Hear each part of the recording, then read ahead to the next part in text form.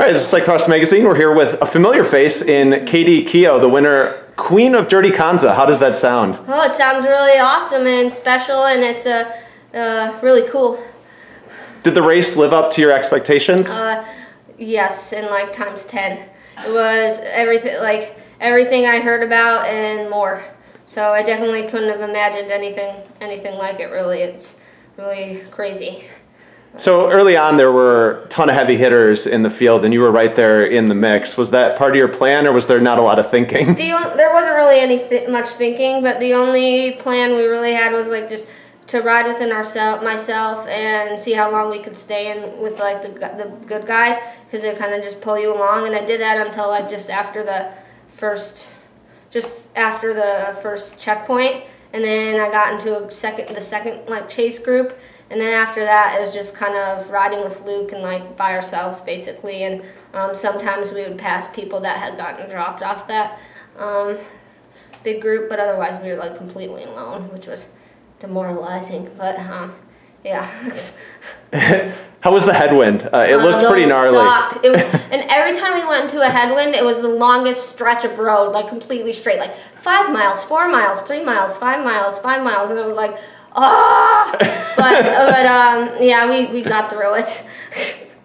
So yesterday we were talking, I think before we chatted about how your place is on the dirt, uh, yeah, on the off road. Yeah. You still feel that way after 206 um, miles? Yeah, like I, I, I don't really, I'm not super passionate about the road anymore. Um, I've just done that for so long, and cyclocross is like I'm super passionate about it. And gravel was something new and exciting to try, and it was an adventure. And Cannondale was 100% supportive and um, super like stoked about it. And I'm excited that they invited me to try it out. And um, yeah, no, I like I like riding off road. So your dad is sitting right over there. Yeah. Uh, how did the the pit exchanges go? Um. Well, this was our first time doing anything like this. My dad, back in his day, raced Paris, Brest, Pariston, Boston, Montreal, Boston, and my uncle Byron was his support crew for that. So the two of them were our support crew today. But again, this is like our Luke and I's first time ever doing anything like this. So it was a little stressful. I think maybe next time I, I took away a lot today to apply next time. But they did. They were amazing, and they gave a lot of like super great insight and um, advice for today. And it, I mean, it was all right. I panicked in a few of them. It was like screaming because I thought I forgot my battery and my Garmin was gonna die. But Luke had it, and I was just like, but uh, yeah, you can't. There's always a little drama, I guess, especially in something like this. So yeah.